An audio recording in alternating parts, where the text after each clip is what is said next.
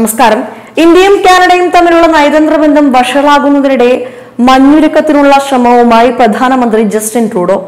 ഇന്ത്യക്കെതിരായ പരാമർശം അന്താരാഷ്ട്ര തലത്തിൽ കാനഡയുടെ മുഖച്ഛായയ്ക്ക് മങ്ങലേൽപ്പിച്ചുവെന്ന വിലയിരുത്തലിന് പിന്നാലെയാണ് മയപ്പെടുത്തി രാജ്യം രംഗത്തെത്തിയത്.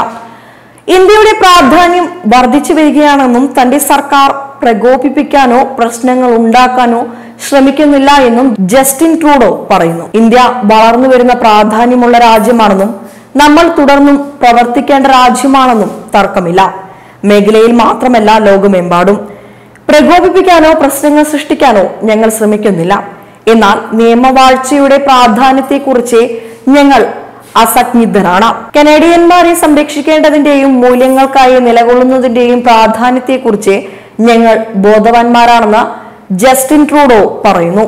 കനേഡിയൻ പൗരന്മാർക്കുള്ള വിസ വിതരണം ഇന്ത്യ നിർത്തിവെച്ചതിന് പിന്നാലെയാണ് ഈ നിലപാട് മയപ്പെടുത്തൽ. കാനഡയിലെ വിദ്യാഭ്യാസ സ്ഥാപനങ്ങളിൽ നാൽപ്പത് ശതമാനവും ഇന്ത്യയിൽ നിന്നും എത്തുന്ന വിദ്യാർത്ഥികളാണ്.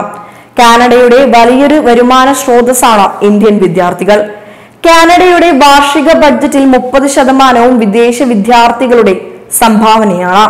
മുപ്പത് ബില്യൺ ഡോളറാണ് അന്താരാഷ്ട്ര വിദ്യാർത്ഥികൾ കാനഡയുടെ സമ്പദ് വ്യവസ്ഥയ്ക്ക് സംഭാവന ചെയ്യുന്നത്.